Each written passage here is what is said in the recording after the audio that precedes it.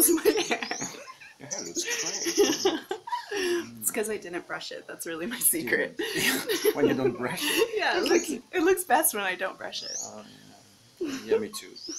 It's, it's so much better. um, how to Attract how to attract a conscious relationship. a conscious relationship. Yeah, how do we do that? this is one of my favorite topics as well. Anything about conscious relationships is You have really. a whole program about that one, right? I do have a program about attracting love. Yeah. Mhm. Um, I love this because I think that we often think we have to do something to attract a conscious relationship. And we also think that a conscious relationship looks a particular way. And usually that is it looks it looks and feels really good. That's what people often think. And um, yeah, that's true. Like some that's true about a relationship. It does that's part of it. It does feel good and look good and all all of that.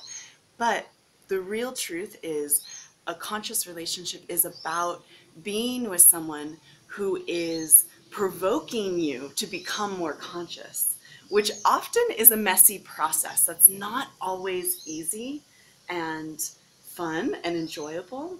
So the consciousness piece isn't about I'm going to attract this perfect person who's going to come in and make me feel good all the time. The Mm. consciousness piece is like how am I going to show up to what is being presented right in front of me? And one more thing I want I want to hear what you have to say about it, but one more thing about it is you are automatically going to attract the people, the places, the life experiences that are going to call you to become into more consciousness, into higher consciousness. They're automatically going to show up. So you don't have to rearrange yourself to become a certain way to attract in a certain partner. The truth is the more conscious you become, then of course the more conscious your your partner is going to be. Mm-hmm. You're going to be a match. But until you get there, show up for what's what and who is showing up in front of you. Yeah, And yeah, I feel exactly the same. yeah. It's like uh, the way I look at it right now is instead of me trying to control, you know, I see somebody that I'm attracted to, and then I zoom on that person and say, oh, that's the person with who I'm supposed to be sharing something.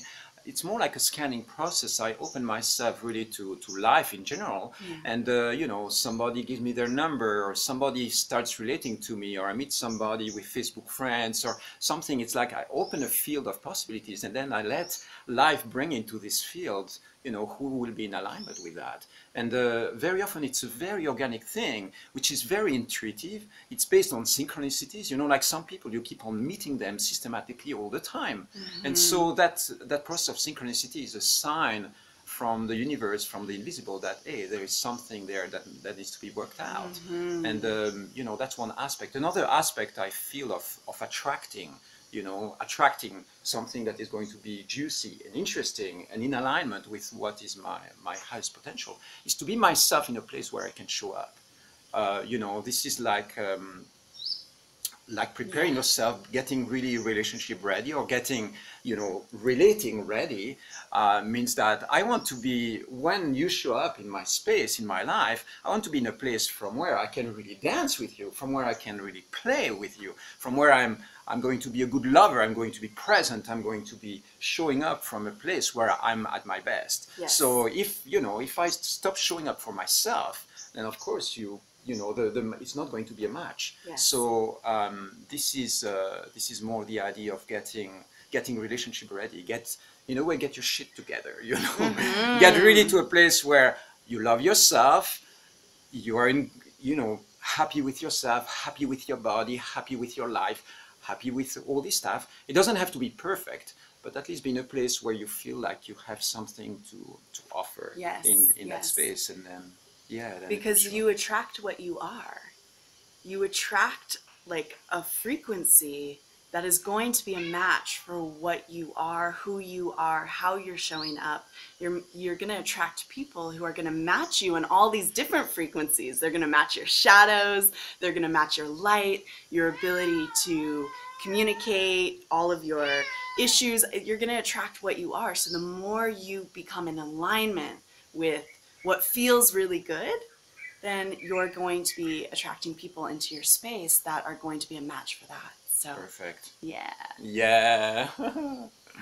this is fun. yeah, it's I like it. I like recording videos with you. I know, I like it too. It's super I sweet. I love this woman. so adorable.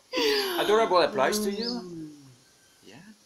I'm surprised when I see you're adorable. I know. I've I've never had a man call me adorable. You are adorable. Before Don't you think she's adorable? I think she's adorable. Bye. Bye.